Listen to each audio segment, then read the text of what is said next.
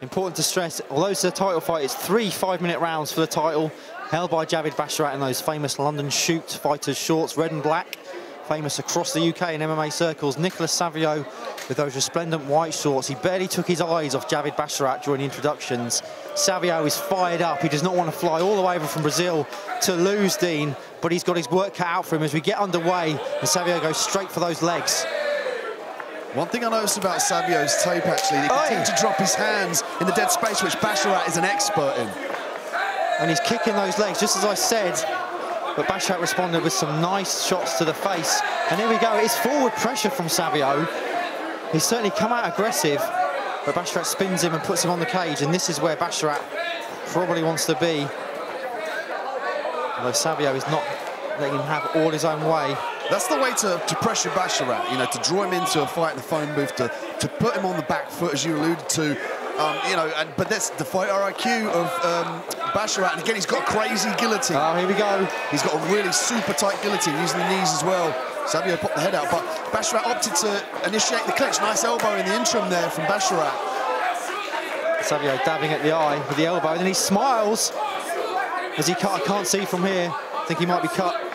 Basharat's got that right hand. Oh, oh my goodness! Right Some heavy ground and pound from Javid Basharat. Savio's got to be careful about tackling leg there because if his hands are, are fighting on the leg, his head is not protected. He could eat some really damaging ground and pound tactics here. Oh, looking for the knee bar! Oh, he's on the knee bar! Submission bar! He's on the knee bar! He's got a roll!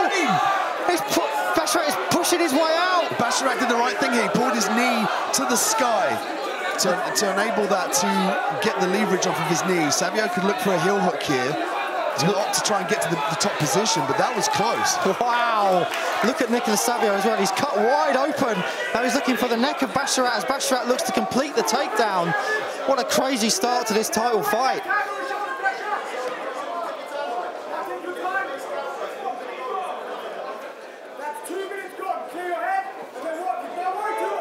Interestingly enough, I'd imagine the Basharat would sprawl and brawl in this fight so avoid the takedown, avoid the ground.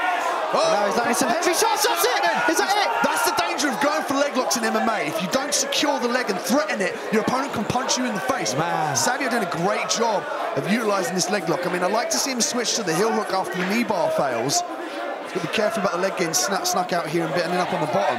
I thought Savio went out there, but he didn't. He was just fighting through. He's Great busted up though, Mark. He is a huge mask of crimson. I think down overhead he's going to call in the medics to check this cut. So he's got cut wide open by an elbow and the cruel fists of Javid Basharat, who is covered in front of us, Dean. Yeah. With I mean, the, Savio's the blood. here, if it, can, if it goes into his eyes and impairs his vision, they'll stop it. If the cut's uh, too bad, you know. Uh, and that's it. This fight is over.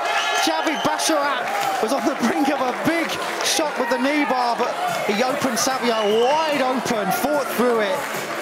In the blue corner, let's hear it for Javid Basharat.